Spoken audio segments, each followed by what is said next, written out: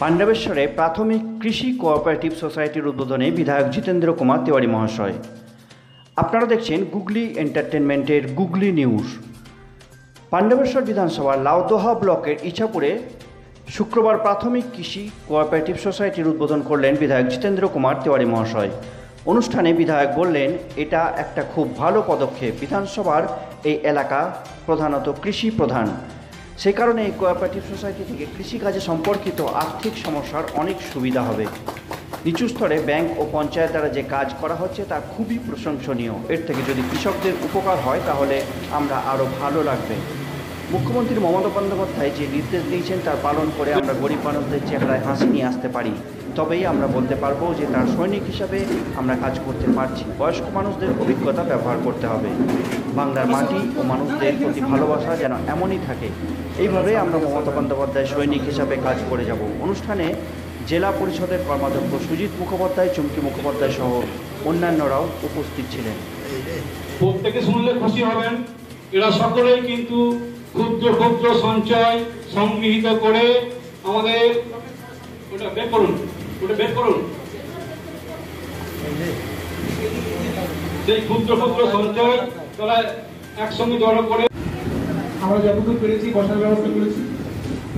আমাদের মধ্যে উপস্থিত হয়েছেন আমাদের এই এলাকার বিধায়ক, মাননীয় জিতেন্দ্র তেওয়ারি মহাশয় এবং আমাদের ব্লকের দুইজন জেলা পরিষদ সদস্য, মাননীয় সুনীল মুখার্জি এবং শ্রীমতী চমকি মুখার্জি মহাশয় এবং উপস্থিত আছেন পঞ্চায়েত সমিতির সভাপতি মাননীয় শ্রীমতী হেমরম উপস্থিত আছে আমার ইশাপুর গ্রাম পঞ্চায়েতের প্রধান এবং সকল সদস্য সদস্য উপস্থিত আমার পঞ্চায়েতের সমস্ত কর্মকর্তা, উপস্থিত ইশাপুর গ্রাম পঞ্চায়েত প্রাথমিক কৃষি ঋণ উন্নয়ন সমিতি যে সমুদ্বোধন তার আজকে আমরা আজকে এখানে শুভ সূচনা করব এবং এখানে উপস্থিত এই অঞ্চলে সুজিতা।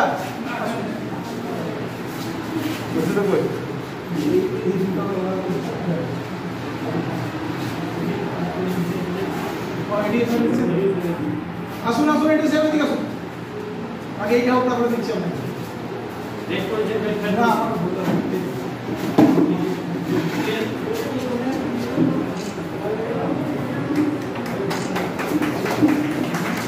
এই রুমটা মনে হচ্ছে নিচ্ছি।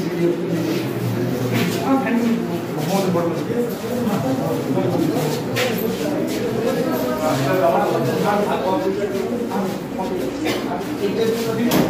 আমাদের হয়েছে আঠেরো সাত দু হাজার ঘর দেওয়া করে করব আস্তে আস্তে আমরা এগুলো আমরা দেড়শো জন মতো এখন যদি আমরা ইয়ে করছি আমরা ইয়ে করি না সেই দেড়শো জন করার পরে আমাদের ব্যাংকের হাতে আমাদেরকে অবশ্যই অর্ডারটা দিল আমরা কি কিন্তু সময়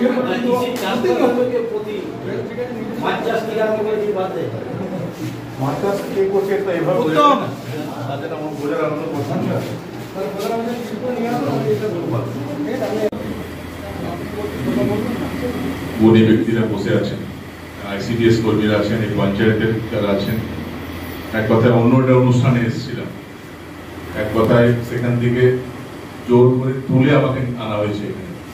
কিন্তু রাস্তায় খারাপ লাগছিল যে অন্য একটা অনুষ্ঠান ছিল জোর করে আমাকে নিয়ে যাচ্ছে।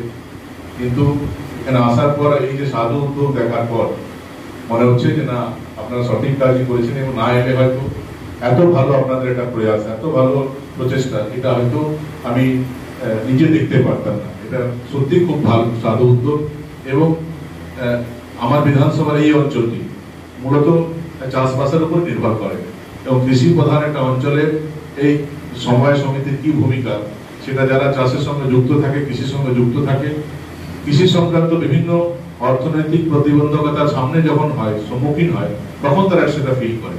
তাদের সুবিধার্থে আমি অভিনন্দন জানাই, বিভিন্ন ব্যাংক থেকে যারা এসছে তাদেরকেও, যে আপনারা একদম রিমোট এসছে, একদম মাইক্রো লেভেলে যেভাবে আপনারা কাজ করছেন, সত্যি এটা প্রশংসার যোগ্য এবং আমার পঞ্চায়েতে যারা আছে তাদেরকে বলছি যে তারা যেভাবে ইন্সপায়ার করে ওদেরকে নিয়ে এসছেন আপনাদের বিল্ডিং এ তাদের একটা অফিসার হয়ে যাচ্ছে, এটাও ভালো।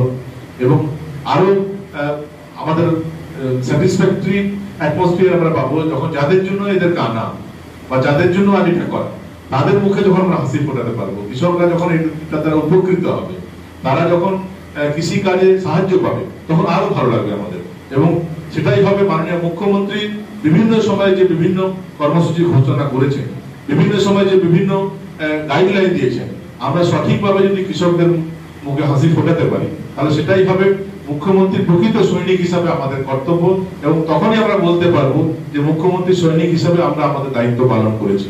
আমার দৃঢ় বিশ্বাস যে সুযোগ্য টিম আছে আপনাদের।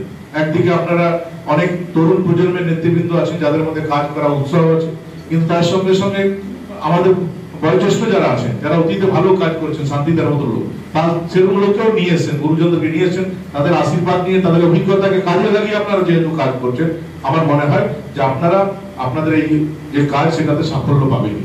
সবাই ভালো থাকুন, সবাই সুস্থ থাকুন। আইসিডিএস দিদিরা আছে, তাদেরকে অভিনন্দন জানাই। যে সবাই বলছে যে কত দিল, এরা তো এক কোটি টাকা দেবে না, টাটা বিল্ডার ফ্যামিলি না। যে কোনোভাবে একটা নিজের সংসার চালায়। সেখান থেকে যেটা দিয়েছে, দেওয়ার মতো মানসিকতা তৈরি করেছে, এটা কত অর্থ দিয়েছে সেটা বড় জিনিস না। এটা এক একটা জিনিসের, এক টাকারও আমার কাছে এক কোটি টাকা। সময় বেশি হয়ে যাবে। কিন্তু একটা কথা নাম শেয়ার করে আপনাদের সঙ্গে পাচ্ছি না। আপনারা নিজেও হয়তো অনেকে জানে যে একবার গান্ধীজি জন্মদিন পালন হচ্ছিল এবং গান্ধীজি জন্মদিনে অনেকে তাকে বিভিন্ন রকম উপহার দিতে যাচ্ছিলেন। তো গান্ধীজি সেটা সবটাই খুবই জেন্টলি রিফিউজ করেছেন না, আমার এগুলোর প্রয়োজন নেই।